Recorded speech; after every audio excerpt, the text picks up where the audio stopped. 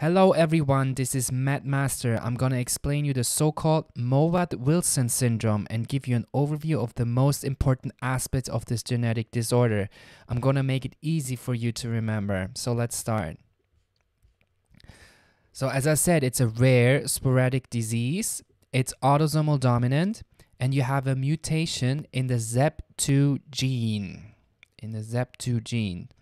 What is interesting about this syndrome if you have a lot of facial dysmorphias, which I'm going to explain to you one by one. First, you have a wide interocular distance, as you see here, thick medial eyebrows. You have a prominent nose bridge and a wide gaping mouth.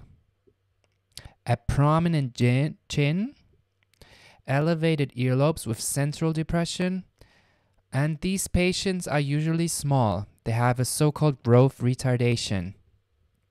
Also, these patients have a small head, which is called microcephaly.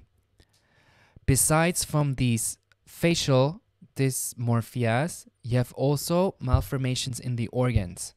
The most prominent are heart malformations, where pulmonary valve and pulmonary artery are affected, genital malformation, corpus callosum agenesia. So the corpus callosum that contact, connects the hemispheres with each other is missing in these patients. You have eye malformations, prominent teeth, which you don't really see here because the lip is drawn on top of it, because, but they have prominent teeth. These patients suffer from obstipation, and most of them, by far, is the Hirschsprung disease, which they often have. So, Hirschsprung's disease. Also, they suffer from psychomotoric development failure, like learning disabilities, and they have impaired speech development. So, this was all about Mowat Wilson syndrome. I hope it was easy for you to understand and thank you for watching. I really appreciate it.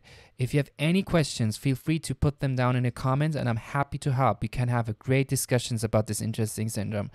If you like this video, please give it a thumbs up and subscribe to my channel. Goodbye.